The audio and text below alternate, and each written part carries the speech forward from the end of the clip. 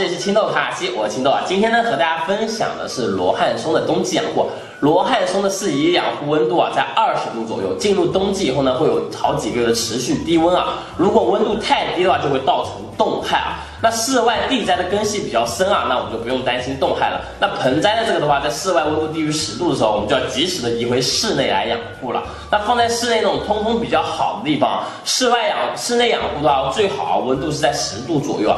低于五度呢，也会容易产生冻害啊。那冬季罗汉松呢，我们要减少浇水啊，保持这个盆土的干燥状态啊。那我们实在要浇水的话，我们可以选择那种晴天的中午浇水啊。浇水的话就要浇透了。那冬季的话，温度比较低啊，我们就不要给它施肥了。那如果发现罗汉松有少量的落叶啊，不要担心。